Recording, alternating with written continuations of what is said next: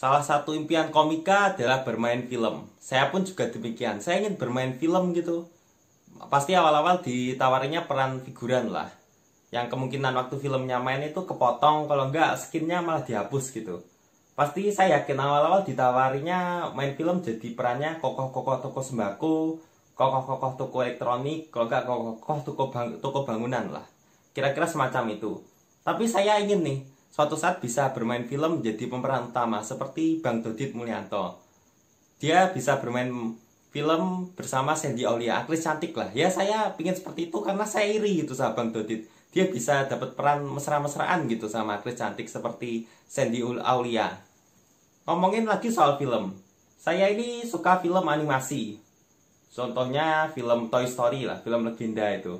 Yang saya, menurut saya film ketiga itu udah bagus banget loh endingnya sudah pas lah nggak usah perlu tambahan-tambahan lagi.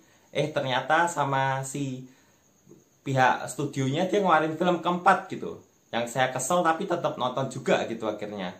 Nah film animasi ini kan dia itu kan bentuknya karakter ya yang nggak nyata gitu. Jadi bisa dibuat terus lah sama animator-animator. Saya takutnya nanti kalau misalnya saya, sudah tua nanti sudah mau meninggal itu nanti akan keluar film Toy Story ke 100 gitu. Nanti saya jadi waktu saya udah sekarat saya jadi pingin nonton. Terus nanti saya nego gitu sama malaikat kematian. Pingin nego. Ya pasti ditolak sih. Kecuali mungkin Martin lah malaikat kematiannya. Mungkin saya bisa nego. Hoi bang anda udah mati nih.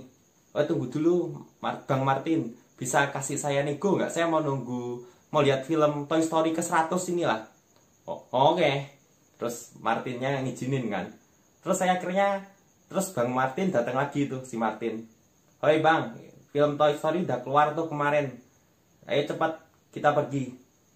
Oh tunggu dulu Martin. Saya tuh nunggunya bukan Toy Story yang di bioskop saya nunggunya Toy Story yang dikeluarin oleh Pen Nakatsuki. Terus kan masih keluarnya kira-kira dua bulan lagi lah. Terus Martinnya oh, oke. Okay. ya akhirnya kematian saya mundur dua bulan karena Toy Story 100 tapi setelah itu mungkin mundur lagi kalau keluar Toy Story 101 oke sekian nama saya Yosep